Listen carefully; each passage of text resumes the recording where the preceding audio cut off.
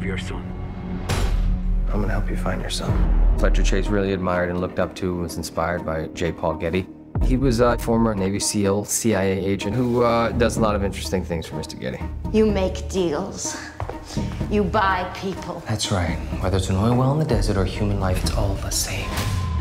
It's a character-driven movie that has the suspense of a thriller. They will do things to Paul that cannot be undone for any amount of money. It's fascinating. I can't wait for people to experience it. I do not have the money to spare. No one has ever been richer than you are at this moment. What would it take for you to feel secure? More